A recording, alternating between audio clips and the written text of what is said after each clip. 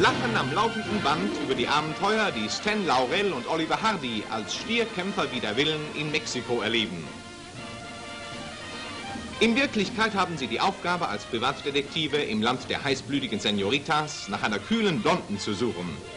Es gibt keinen lustigeren Film als diesen, in dem Stan Laurel und Oliver Hardy sich in den schwierigsten und komischen Situationen als Meister zeigen.